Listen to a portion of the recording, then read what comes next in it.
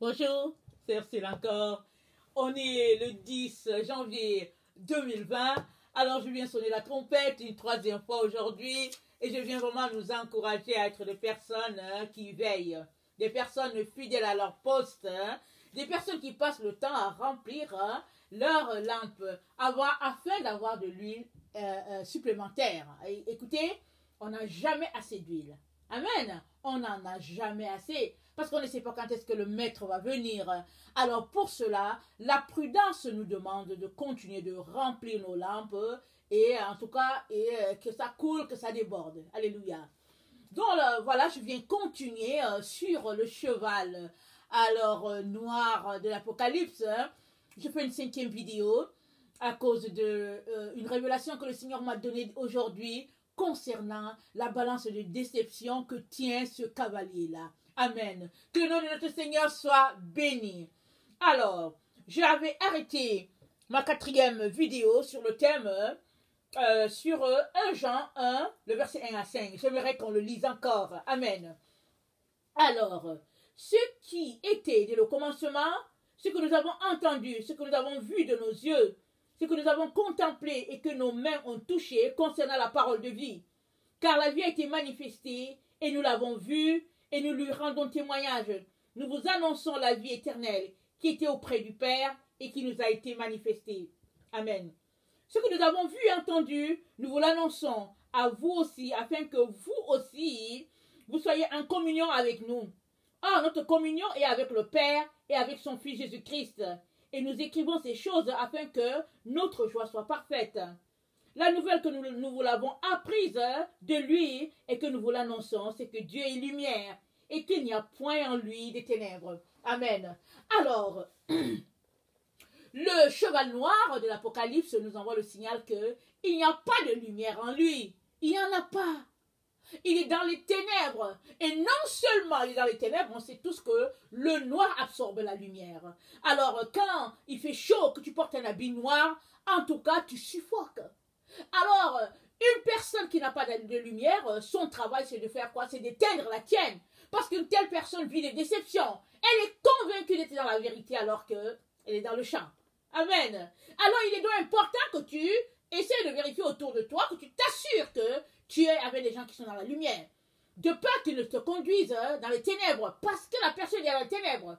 Voilà pourquoi, quand les disciples ont demandé à Jésus-Christ quand sera la fin, Jésus-Christ a dit prenez garde que personne ne vous déçoive. Matthieu 24, le verset 3. Il dit prenez garde afin que vous ne soyez pas déçus. Parce qu'une fois que tu es déçu, c'est fini. Tu t'éloignes de Jésus. Et la déception, c'est le mensonge, c'est les ténèbres, c'est l'illusion. Amen. Alors, on continue au verset 6. Euh, au verset 6, oui. Si nous disons que nous sommes en communion avec lui et que nous marchons dans les ténèbres, nous mentons et nous ne pratiquons pas la vérité. Mais si nous marchons dans la lumière, comme il est lui-même dans la lumière, nous sommes mutuellement en communion et le sang de Jésus-Christ, son Fils, nous purifie de nos péchés, de tout péché. Amen. Alors, le cheval noir et son cavalier, euh, au fait, ne sont pas en communion avec le Seigneur Jésus. Parce qu'ils sont dans les ténèbres. Et ils ne pratiquent pas la vérité. Ils ont un évangile euh, qui n'est pas l'évangile de Jésus-Christ. C'est ça la balance des déceptions qu'ils tiennent dans leurs mains. Parce que c'est Jésus-Christ qui récompense chacun. Jésus, c'est le juste justicier. Alors, il a donné son, son véritable évangile.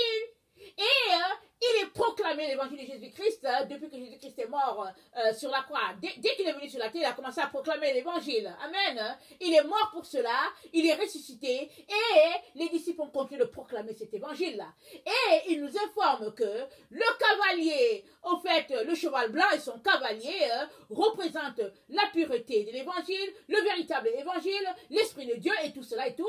Mais voilà un cheval noir et son cavalier qui refusent l'évangile de pureté. Ils veulent hein, leur évangile à eux. Alors, ils sont non seulement dans la déception, dans les ténèbres, et ils croient qu'ils sont dans la lumière. Et il suffit qu'on regarde autour de nous. Ça n'a pas commencé à notre siècle. C'est depuis. Paul même a dit, il y a plusieurs antichrists déjà sur la terre. Question de dire qu'il y a plusieurs personnes qui opposent l'évangile de Jésus. Plusieurs personnes opposent l'enseignement de Jésus. Alors, si toi, tu te réclames de Jésus, assure-toi que l'évangile que tu détiens dans ton cœur, c'est l'évangile de Jésus-Christ. Sinon, tu vas te retrouver tout simplement à faire compagnie avec le cheval noir et son cavalier. Parce que Jésus-Christ, c'est la vérité. Jésus-Christ, c'est la lumière. Jésus-Christ, c'est la pureté. Alors, euh, euh, euh, David a dit, crée en moi un cœur pur. Renouvelle en moi un esprit bien disposé. Alors, avoir un cœur pur, c'est au fait la voix de tous ceux-là qui aiment Jésus. La voix de tous ceux-là qui le cherchent, ils aspirent à avoir un cœur pur. Et s'il y a une petite souillure en eux, ils viennent devant le Seigneur, ils crient, ils disent Seigneur, enlève-moi cette tâche-là, aide-moi, Seigneur, à dominer mes pulsions, afin que je puisse vivre, Seigneur, en ayant contrôle, Seigneur, de toutes mes émotions, pour que mes émotions te soient entièrement soumises. Ça, c'est très, très important. Alors, le cavalier et le cheval noir de l'Apocalypse, donc, ne sont pas en communion avec le Seigneur. Parce que la Bible nous dit que, le verset 7, si nous marchons dans la lumière, comme il est lui-même dans la lumière, nous sommes mutuellement en communion et le sang de Jésus-Christ, son Fils, nous purifie de tout péché. si nous disons que nous n'avons pas de péché, nous nous séduisons nous-mêmes et la vérité n'est point en nous. Et Jésus-Christ lui-même, en envoyant ce cheval-là euh, dans une vision à Jean, est en train de dire que voilà, il y a un cheval noir ici et son cavalier qui sont dans l'illusion la plus totale. Ils sont dans les ténèbres, absence de lumière. Même pas une once de lumière à quelque part. Alors, dans le rouge, le cheval rouge, il y a un peu de vérité. Mais les personnes hein, qui sont après le cheval rouge ont choisi une vie de péché. Parce que la Bible nous dit que dans le temps de l'apostasie, autant il y aura le véritable évangile qui est proclamé, autant les gens vont sombrer dans le péché. Le péché, ils vont s'y adonner avec cœur, à, cœur joie. Alors, le cheval rouge symbolise tous ceux-là qui ont choisi une vie de péché. Parce que dans le rouge, il y a quand même le blanc, il y a quand même la pureté. Quand on fait les mélanges de couleurs, hein, dans le rouge, on retrouve du blanc. Amen. Parce qu'il y a un peu de blanc dedans. Alors, euh, le cheval, le noir, il n'a pas du tout, du tout de lumière. Rien. Mais ce qui est spécial, c'est qu'il est convaincu d'être dans la vérité. Le cheval pâle, je ne sais pas si c'est vert ou quoi, vert pâle, le, quatrième cheval, il y a aussi un peu de blanc là-dedans. Mais lui, ça conduit directement à la mort. C'est une vie où les gens, euh, je veux dire, leur vie, leur comportement, leur manière de vivre va leur donner d'être d'un bord ou de l'autre. Toi, ta manière va faire que tu vas te retrouver aligné derrière le cheval blanc, ou bien le cheval rouge, ou bien le cheval euh, noir, ou bien le cheval pâle. À toi de choisir euh, le cheval blanc qui est en train de courir euh, et il court euh, pour, au fait, le, compte de Jésus-Christ. Les trois autres, c'est pour le compte du diable. Et moi, je viens t'encourager à tout faire pour te retrouver du côté où il y a la pureté, où il y a la lumière, là où il y a la vérité, parce que ce sont ceux-là qui seront affranchis. Amen. Ils seront affranchis de la loi de la mort. Amen. Parce qu'ils régneront pour toujours avec Jésus-Christ et ils vivront avec lui. Alléluia. Alors, 1 Jean 2, le verset 21 à 36, nous dit ceci. 1 Jean 2, le verset 21 à 36. Je vous ai écrit, non pas que vous ne connaissiez pas la vérité, mais parce que vous la connaissez et parce qu'aucun mensonge ne vient de la vérité. Qui est menteur Sinon celui qui nie que Jésus-Christ est le... Euh, non, qui est menteur Sinon celui qui nie que Jésus est le Christ. Celui-là est l'Antichrist qui nie le Père et le Fils. Quiconque nie le Fils n'a pas non plus le Père. Quiconque confesse le Fils a aussi le Père. Amen. Alors, nier Christ, qu'est-ce que ça veut dire? Alors, nier Christ, c'est pas juste de dire. Euh, euh, attends, on peut penser que nier Christ, c'est dire. Ok, on peut penser que celui qui nie Christ, par exemple, un, un musulman, on peut penser qu'il nie Christ. Parce que bon, il n'est pas avec Christ. Oui, ça c'est un fait. On peut penser, par exemple, les gens qui disent que bon, Dieu n'existe pas, on peut penser que oui, il nie Christ. Parce qu'ils affirment quelque chose euh, qui est erroné. Mais tu sais quoi? Tu peux, être un adepte des églises, tu peux être quelqu'un qui lit ta Bible à tous les jours, mais tu nies Christ pareil. Comment? Parce que, au lieu de t'appuyer sur l'évangile de Jésus-Christ, tu t'appuies sur l'évangile d'une certaine doctrine parce que tu es membre d'une dénomination avec sa doctrine et tu pratiques la, doctrine de la dénomination, ou bien parce que euh, tu, prends une partie de la Bible, tu en fais tienne, et puis l'autre partie, tu laisses ça parce que tu trouves que bon, euh, c'est démodé, ou bien tu prends euh, le Nouveau Testament et puis tu laisses aller l'Ancien Testament parce que tu dis que ça ne te concerne pas, c'est pour Israël. Ça, si tu te comportes comme ça, tu es en train de nier Christ. Alors, Christ, tu l'acceptes à 100% ou bien tu ne tu, l'acceptes pas du tout. Alors, si tu es avec Christ, disons, à 80%, et que les 20% tu les laisses dehors, alors ça veut dire que tu n'es pas avec Christ. Ça, c'est nier Christ. Allez, et l'apôtre Jean nous dit ici que, il dit, qui est menteur. Verset 22. Sinon, celui qui nie que Jésus est le Christ, celui-là est l'antichrist, qui nie le Père et le Fils. Quiconque nie le Fils n'a pas non plus le Père. Quiconque confesse le Fils a aussi le Père. Alors, si tu nies le Fils, si tu es quelqu'un qui choisit certaines parties dans la Bible et tu laisses l'autre, tu es en train de nier Jésus. Et Jésus Christ a dit quoi? Celui-là qui me renie devant les hommes, je le réunirai aussi devant mon Père. En tout cas, la parole a été déclarée par le Seigneur. Pense-y avant de décider que tu vas régner Jésus-Christ. Alors, 2 Pierre 2, 1 à 5. 2 Pierre 2, 1 à 5.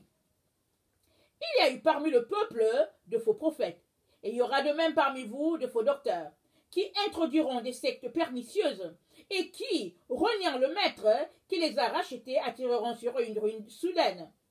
Plusieurs les suivront dans leur dissolution, et la voix de la vérité sera calomniée à cause d'eux. Par cupidité, ils trafiqueront de vous au moyen de, de paroles trompeuses. Eux que menace depuis longtemps la condamnation et dont la ruine ne sommeille point.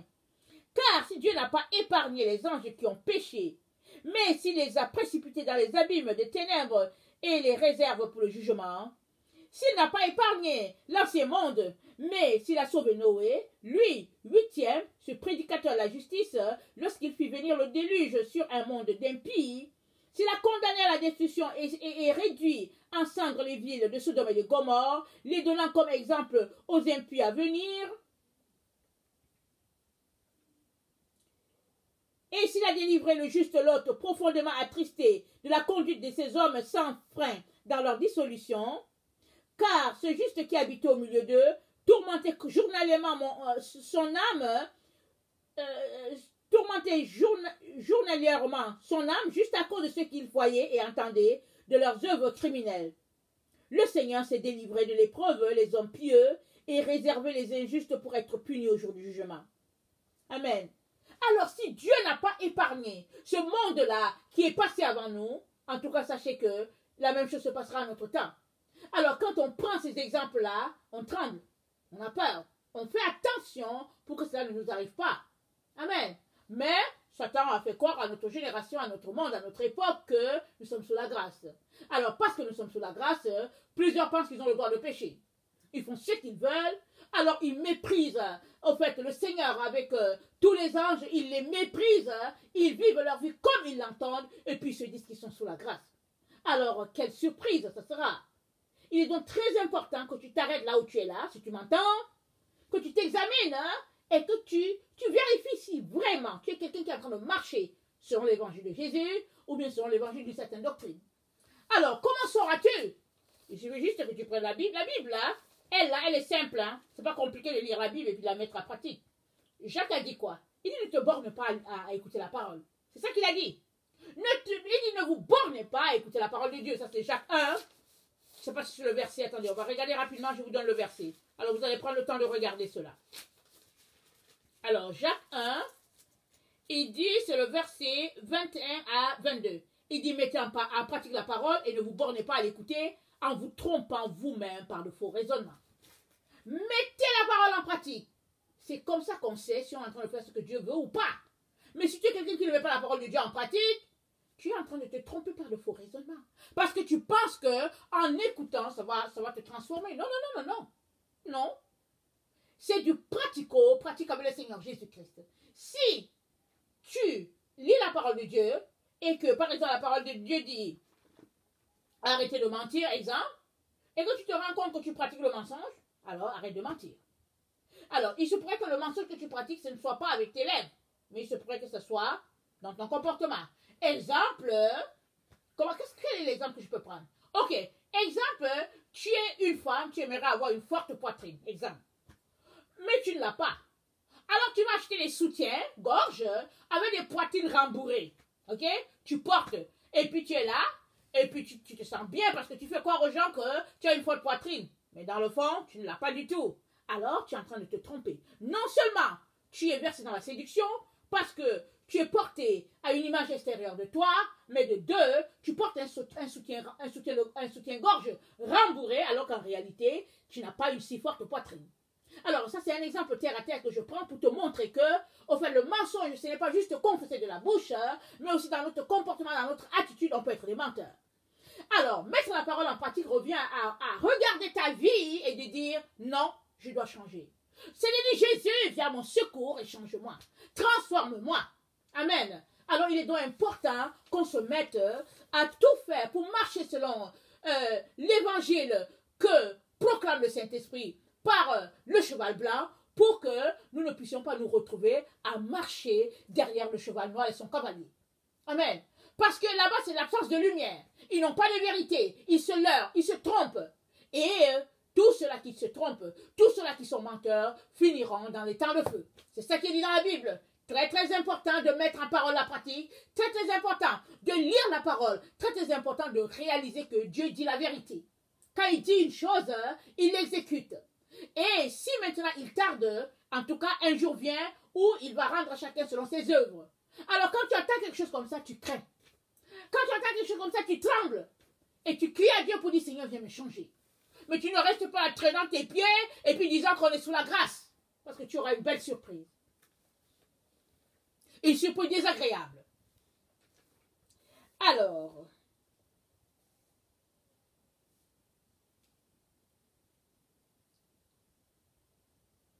dans notre temps, on vit dans un grand temps de l'or et de déception.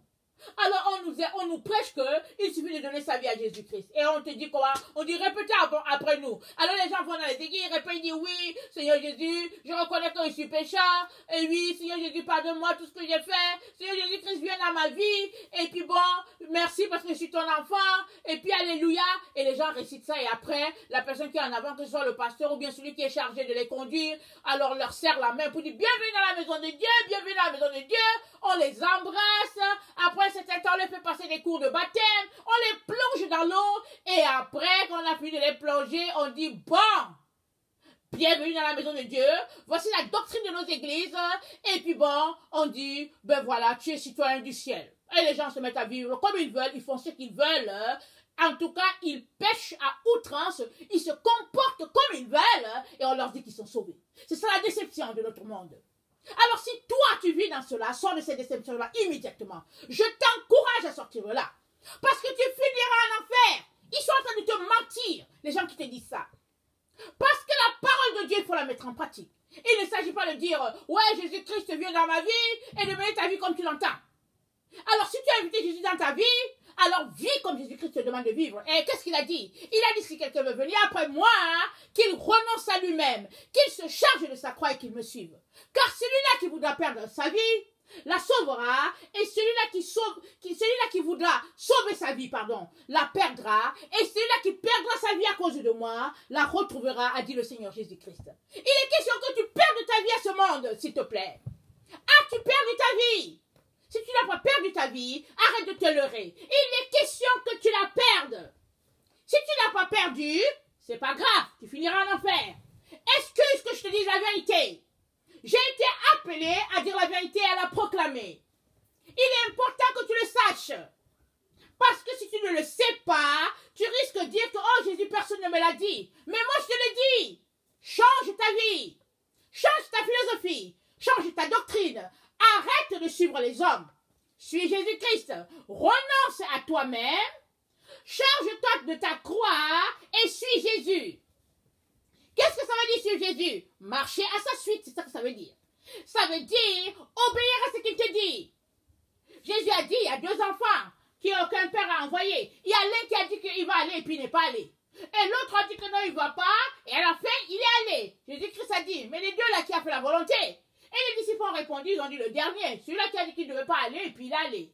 Alors Jésus-Christ a dit, allez-y, faites de même. Alors, question de dire que si toi, tu te réclames Jésus-Christ, Jésus, que tu dis que tu te fais baptiser et que tu ne marches pas selon Jésus-Christ, Jésus dit tu es un menteur et tu finiras là où il y a le feu.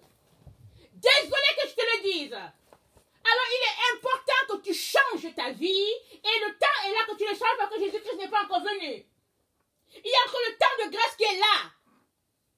Il y en a qui disent que bon, en tout cas, elle exagère et tout, c'est pas grave. Je suis, j'ai été appelé par le Seigneur à dire la vérité et à la prêcher, à la proclamer et je la proclame et je la prêche.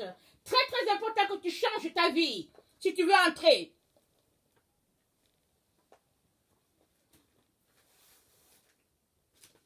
2 Thessaloniciens 2, le verset 5 à 12.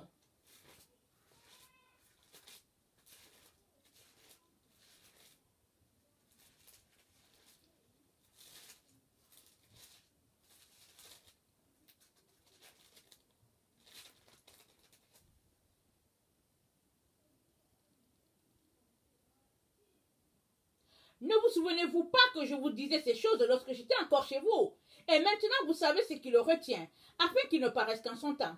Car le mystère de l'iniquité agit déjà, il faut seulement que celui qui le retient encore ait disparu.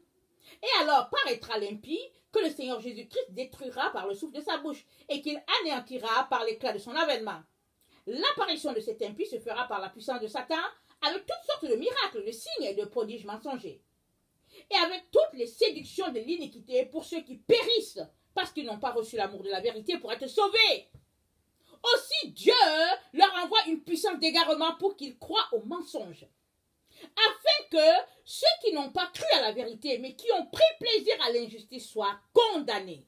Donc voilà, plusieurs vont se retrouver à suivre le cheval noir et son cavalier. Et pourtant, ils ont côtoyé l'Église. Et pourtant, ils, ne vivaient pas selon euh, les, les, valeurs de la société. Ils étaient là assidus à l'Église, mais ils n'avaient pas la bonne doctrine, c'est-à-dire la doctrine de Jésus. Et puis, si tu lis vraiment ta Bible, si tu es quelqu'un qui a décidé que tu vas lire ta Bible, je vais te dire, le Saint-Esprit va t'éclairer. Il va te donner de poser les questions les plus importantes de ta vie. Tu vas t'arrêter, tu vas te dire, mais attends, il y a ceci qui se passe dans mon église, mais est-ce que c'est correct? Ou bien tu vas lire quelque chose, tu vas dire, mais il y a quelque chose, tu vas lire et puis tu vas dire, ah, mais je lis cela et puis mais je ne vois pas cela chez moi. Ou bien tu vas regarder, tu vas dire, ah, mais pourquoi il se comporte comme ça alors que la Bible dit cela? Ça, c'est des questions que je me suis posées alors que j'étais adolescente, alors que j'avais commencé à lire ma Bible. Et j'ai commencé à confronter mes parents, j'étais jeune. Je me rendais compte qu'il y avait des choses euh, qui se faisaient qui n'étaient pas dans la Bible. Et ils m'ont dit, mais tu sais, hein, au fait, c'est ça qu'on nous a appris, et puis c'est comme ça, et tout, ça. J'ai dit, mais non, ce ne sera pas comme ça pour moi. C'est chacun qui décide. À toi de décider de marcher dans la vérité. Et si tu décides de marcher dans la vérité, je te dis que tu connaîtras la vérité et t'affranchiras. Mais si tu veux faire comme les autres, ben, ils vont t'amener en enfer parce qu'ils y sont déjà. Désolé que je te le dise.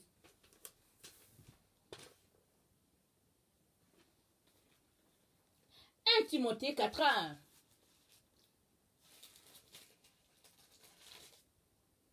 Mais l'Esprit dit expressément que dans les derniers temps, quelques-uns abandonneront la foi pour s'attacher à des esprits séducteurs et doctrines des démons.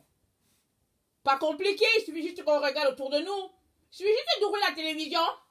Tu vas voir, tu vas te dire, mais qu'est-ce qui se passe? Allez, tu vas la fermer immédiatement. Il suffit juste de regarder sur nos tablettes. C'est-à-dire que tu es en train d'écouter un pasteur en train de prêcher. Tout de suite à côté, à ta droite, là, il y a un lien qui est là, qui n'a rien à voir avec la prédication. Et puis, il y a toutes sortes de choses farfelues là-dessus. Les doctrines de démons, c'est partout, jusque dans la maison de Dieu, bien sûr. Il y en a même quand ils se mettent en avant en train de prêcher, tu, es étonné. Aujourd'hui, les gens n'ont plus tellement rien à dire concernant Dieu qu'ils arrivent devant la, à la chair en train de prêcher, ils ont un journal en main.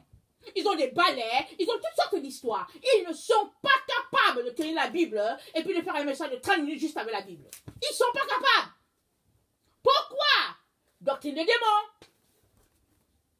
Est-ce qu'en temps d'Israël, là, est-ce qu'ils pouvaient, les sacrificateurs pouvaient venir avec quelque chose d'impur dans le temple? Dans le tabernacle? Est-ce qu'ils pouvaient? Rappelons-nous, les deux enfants de, je pense que c'est de Élie, ils ont apporté le faux feu.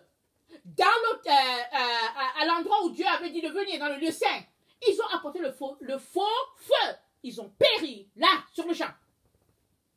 Parce que c'était souillé, c'était impur.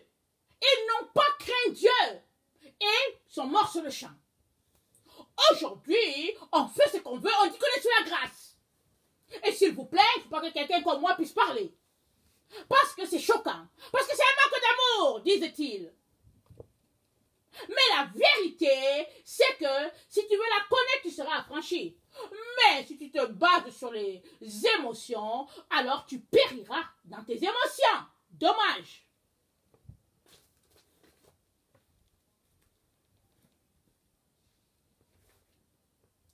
2 Timothée 3, le verset 1.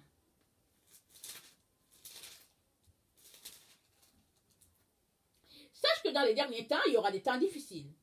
Car les hommes seront égoïstes, amis de l'argent, fanfarons, hautains, blasphémateurs, rebelles à leurs parents, ingrats, irréligieux, insensibles, déloyaux, calomniateurs, intempérants, cruels, ennemis des gens de bien, traîtres, emportés, enflés d'orgueil, aimant le plaisir plus que Dieu, ayant l'apparence de la piété, mais reniant ce qui en fait la force, éloigne-toi de ces gens-là.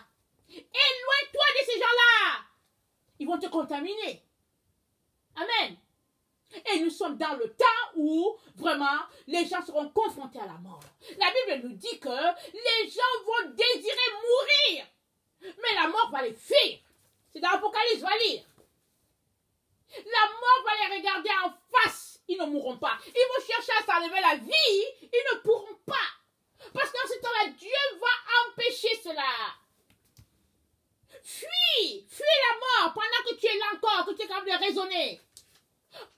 Pendant que Jésus-Christ n'a pas, pas encore enclenché la totalité de tout, ce qui doit arriver, fuis. Va trouver Jésus, mets-toi au pied la croix et retourne au véritable évangile. Jésus va te sauver, il va te secourir. Que de te mettre à te leurrer en, ayant un évangile équilibré. Jésus a-t-il été équilibré? Mais non Il est venu pour mourir et il allait jusqu'au bout. Pour toi et moi. Réfléchis. Toi qui veux avoir un évangile équilibré. Toi qui veux avoir une vie chrétienne équilibrée. Un peu de ceci, un peu de cela. Change avant que tu retrouves en enfer.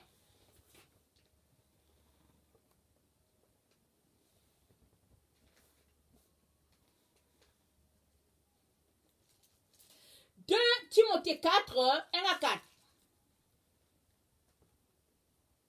Je t'en conjure, devant Dieu et devant Jésus-Christ qui doit juger les vivants et les morts, et au nom de son apparition de son royaume, prêche la parole. Amen. Merci Seigneur. Insiste en toute occasion favorable ou non, reprend, censure, exhorte avec toute, avec euh, toute douceur et en instruisant.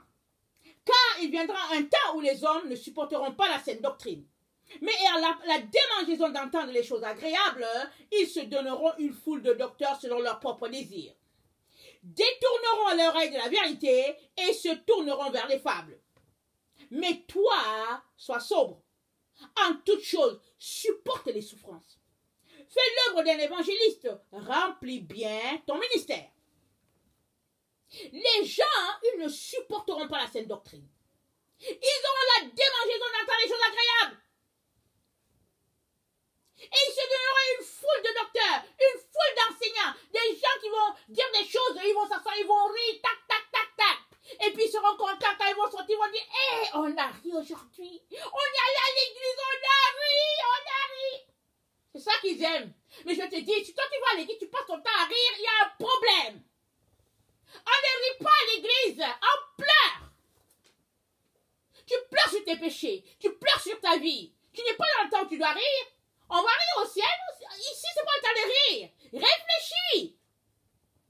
Il y a des gens qui passent le temps à rire en disant Ouais, Jésus m'a sauvé, c'est sous la grâce. Mais quelle est la vie que tu mènes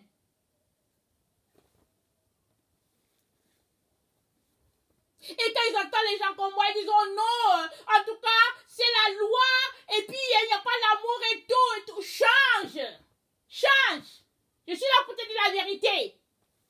Change Pas, c'est pas grave. Mais un jour, elle te rejoindra parce que je t'aurai dit la vérité. Et la vérité, c'est que Christ, au fait, ne sait pas, il, il ne s'est pas donné à moitié. Il s'est donné en totalité pour que tu sois sauvé des flammes.